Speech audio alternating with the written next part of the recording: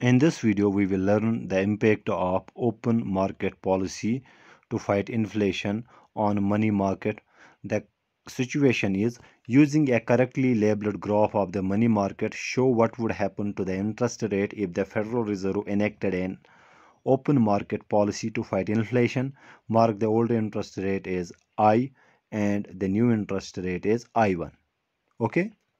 So we start out by drawing a properly labeled money market, nominal interest rate on y-axis and quantity demanded of money on x-axis okay?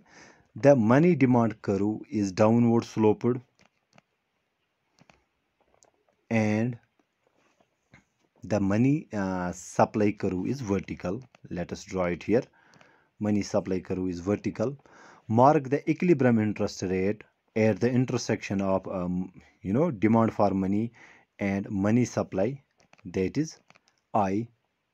This denotes the equilibrium rate of interest at the intersection of money demand curve and money supply curve okay?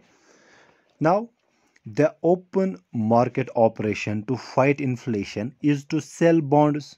The selling of bonds reduces the reserves in the banking system and shrinks the money supply as a result. On the graph, we shift the money supply curve to left uh, like this. Okay, we shift the money supply curve to left to show the reduced money supply.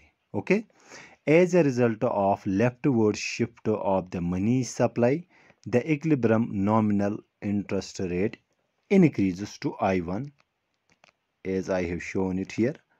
Okay that is how do we draw the graph of the money market in case of the open market op operation or policy to fight the inflation. I hope i make myself clear in this video. Thank you